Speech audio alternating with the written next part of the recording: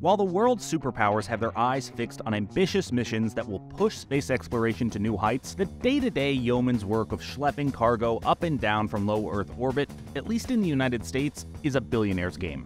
And the crown jewel in the constellation of private space companies, SpaceX, has had a pretty good run lately. Aside from a few last minute delays, we have a hold tonight.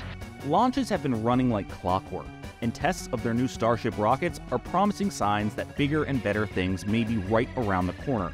However, turns out that not everything they're putting into orbit is staying there, which, you know, is not super great. Back in February, 40 first generation Starlink satellites were struck by a geomagnetic storm and fell to Earth in a somewhat spectacular fashion.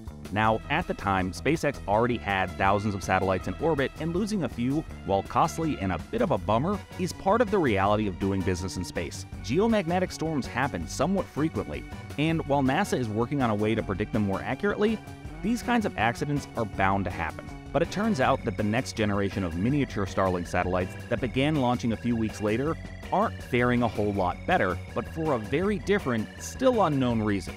In late March, SpaceX CEO Elon Musk confirmed that the V2 mini satellites were experiencing some issues, and since then, at least one has already deorbited. And unless they're able to course correct, a dozen or so more might be on their way down. And speaking of crashing to the ground, Sir Richard Branson, serial entrepreneur, billionaire philanthropist, and guy who really knows how to set up a photo op, has announced that his satellite business, Virgin Orbit, is calling it quits. After months of bad news predicated by a failed launch in January, Virgin Orbit stock plummeted to 15 cents before the company filed for bankruptcy protections. Virgin Orbit's remaining assets are now for sale, and while Elon Musk may have one less competitor in the satellite business, Branson's space tourism venture, Virgin Galactic, is still alive and well. And that's all the time we've got for this week.